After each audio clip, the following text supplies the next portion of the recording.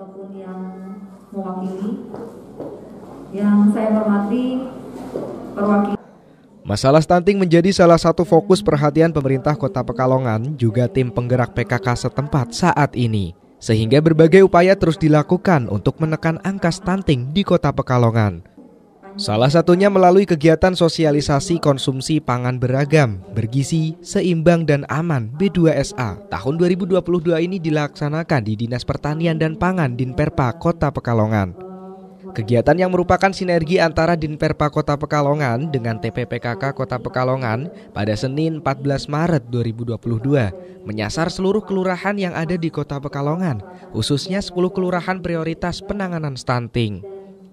Ketua TPPKK Kota Inggit Soraya menyampaikan bahwa B2SA berbasis sumber daya pangan lokal merupakan salah satu program unggulan penganekaragaman pangan lokal TPPKK Kota melalui Pokja 3.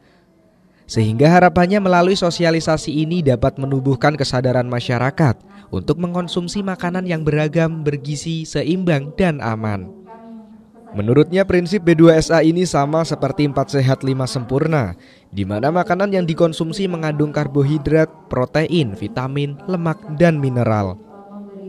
Dalam menyediakan pangan yang bergizi dan aman bagi anak, Inggit mengajak orang tua dan kader untuk bisa melakukan penganekaragaman pangan dengan menggunakan bahan lokal yang ada di sekitar kita.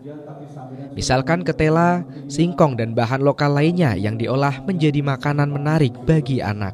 Jadi uh, harus diperhatikan uh, ini juga apa untuk keamanannya supaya makanan yang dikonsumsi anak-anak kita ini uh, aman, terus gizinya tercukupi semua. Artinya dengan usaha kita memberikan sosialisasi ini, nanti upaya kita ini bisa membantu juga menurunkan angka stunting yang artinya anak-anak ini lebih diperhatikan dari makanan yang diberikan ini harus uh, standar B2SA tadi. Ditambahkan oleh Kepala Dinperpa Muadi, usai kegiatan ini para peserta diharapkan bisa langsung mempraktikkannya di lapangan hingga tingkat rumah tangga. Mengingat stunting tidak hanya dilihat dari sisi pertumbuhan anak tidak sempurna atau bertubuh kerdil saja, namun juga balita yang mengalami obesitas. Oh ya, jadi tadi sebagian disampaikan oleh Ibu Tim dari Kota Pekalongan bahwa memang tidak lanjut ini penting uh, untuk aplikasi di lapangan ini dengan adanya sosialisasi yang menu B2SA ini harapannya bisa ya, menumbuhkan pada terutama yang sasarannya di ibu rumah tangga ini.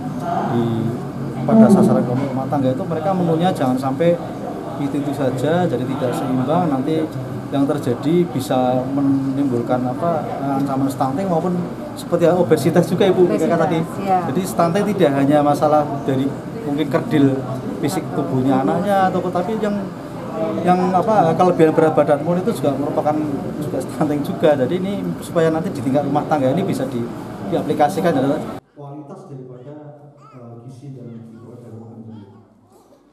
kemudian yang terkait triguna ya realisasi kemudian lomba dan sebagai motivasi-motivasi ini sudah sering kita jalankan. Dulu uh, waktu saya di Ketanan